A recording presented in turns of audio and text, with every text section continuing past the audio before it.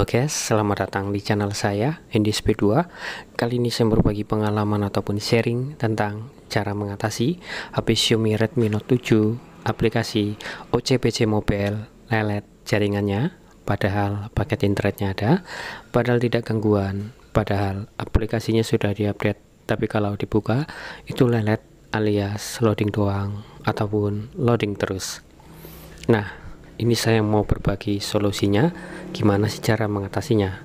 Oke langsung saja. Pertama kita pencet pengaturan ataupun setelan HP ini dia kita pencet. Kemudian sampai di pengaturan ataupun setelan HP kita pencet kartu SIM dan jaringan seluler kemudian sampai di sini kita pencet SIM 1 atau SIM 2 yang kita gunakan untuk internetan. Kemudian di sini pencet nama titik akses.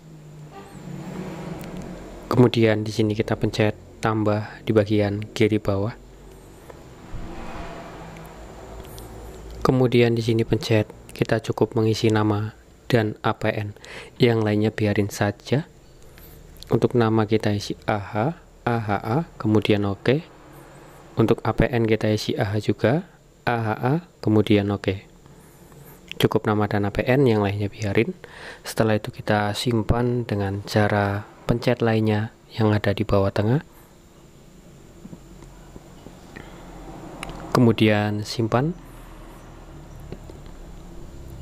Setelah itu kita beralih ke APN AH sampai berwarna biru jika sudah berwarna biru, sekarang aktifkan mode pesawat agar sinyal hilang.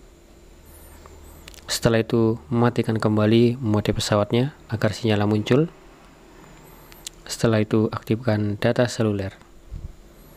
Jika data selulernya sudah aktif, jaringan 4G-nya sudah muncul, sekarang silakan teman-teman buka kembali aplikasi OCPC mobilnya, maka akan normal dan tidak lelet lagi. Begitulah solusinya di HP Xiaomi Redmi Note 7. Semoga bermanfaat. Dadah guys.